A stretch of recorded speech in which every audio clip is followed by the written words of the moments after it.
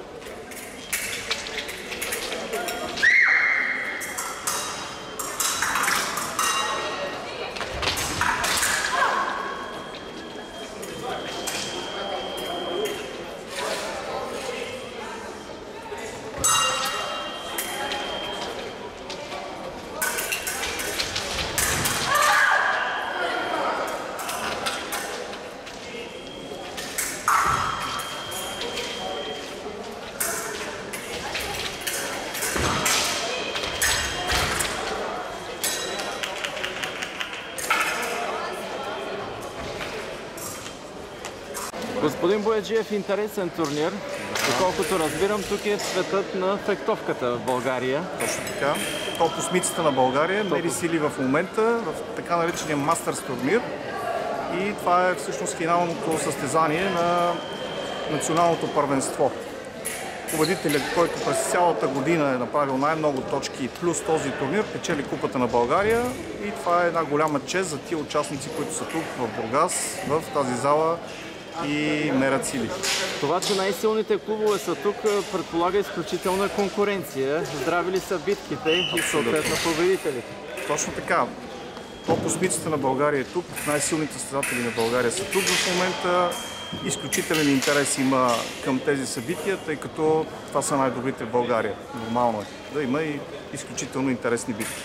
Като че ли напоследък в България дамите напредват усилено в фехтовката и са по-силни от е, силния пол. Ами, фактите са такива. Определено е така. Мъжете малко изостават, но надявам се скоро да наваксат, тъй като сме хванали идеята как да направим добри състезатели. Момичета го доказват това с световните си изяви. Ако погледнем по-масштабно на нещата, има ли интерес към фехтовката от страна на младите? Лесно ли правите селекция и съответно да композирате отборите? И в последно време фехтовката се налага като а, един от популярните спортове. Не е все още масов спорт, но а, успехите, които имаме, дават а, добър рейтинг на този спорт. Това разбира се рефлектира и в подбора на групите, увеличават се желащи да тренират, което нас много ни радва. Отварят се и нови центрове в различни градове на страната, което е доказателство, че фехтовката търпи възходящо развитие.